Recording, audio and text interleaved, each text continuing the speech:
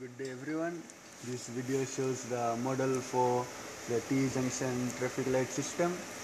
This was done by our group members namely Prashal, Daryl, Vinal, Navnil and Kati.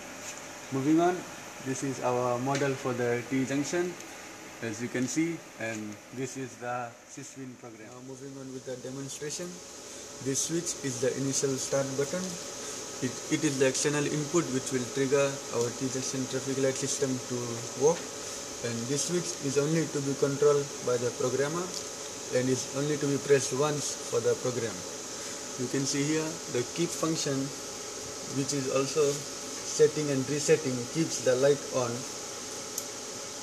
The timer 0 lights up green lights for lane 1, lane 6 and crossing 3. As you can see Lane 6 and lane 1 will be activated together with crossing 2. 3. After the green light is on for 7 seconds, this reset function will reset green light in lane 1 and the green light in lane 6 to be amber and timer 0 will activate the amber light in lane 1 and lane 6 to be see, on.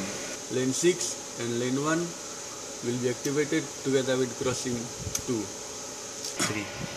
After the green light is on for 7 seconds, this reset function will reset green light in lane 1 and the green light in lane 6 to be amber and timer 0 will activate the amber light in lane 1 and lane 6 to be on. These two orange lights for lane 1 and lane 6 will be activated by timer 0 and then it will go in the loop and all and become red again and which will then activate sequence 2 followed by sequence 3 in the same manner as it has been done in the sequence 1. The first sequence will activate lane 1 and lane 6 and C2 crossing. The pedestrians at other junctions will see red light at their symbol and the orange light will be on for 2 seconds. This is the second sequence which will activate lane 2 and lane 3 together with crossing 3 at the same time and the pedestrians at other junctions will see red when they want to cross. This is the final sequence which will activate lane 5 and lane 4 together with crossing at C1 and pedestrians will again see red at the other junctions.